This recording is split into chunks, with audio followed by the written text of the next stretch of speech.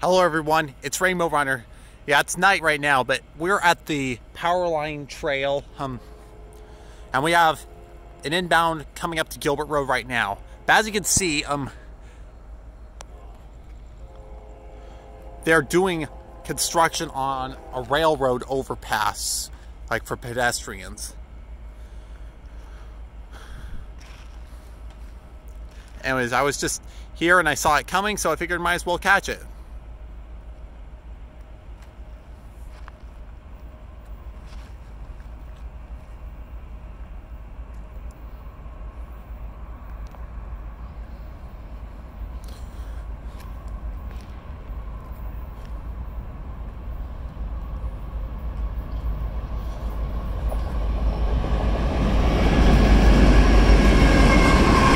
Seven seven three two six.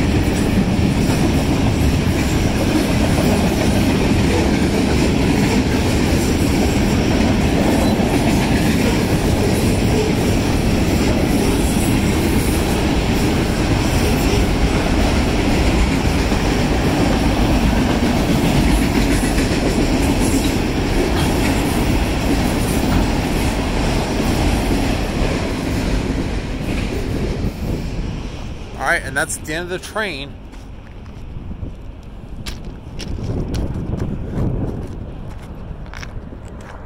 Signal down at Elliot is flashing.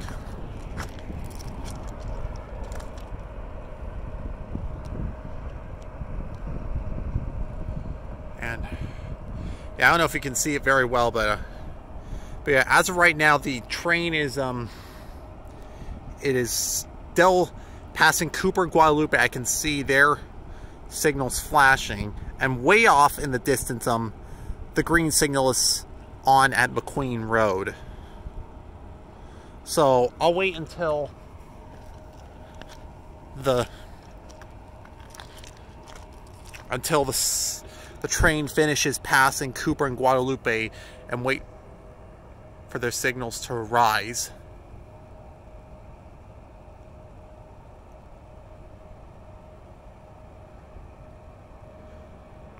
I think at this point the train is now at McQueen.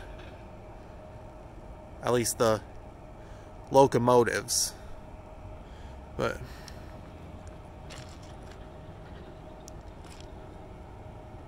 I can like barely hear the train horn. Okay, now I see the crossing gates rising at either Cooper or Guadalupe, maybe both. Okay, now both Cooper and Guadalupe have risen. And yeah, you still hear the train horn. And the signal is now red up at McQueen.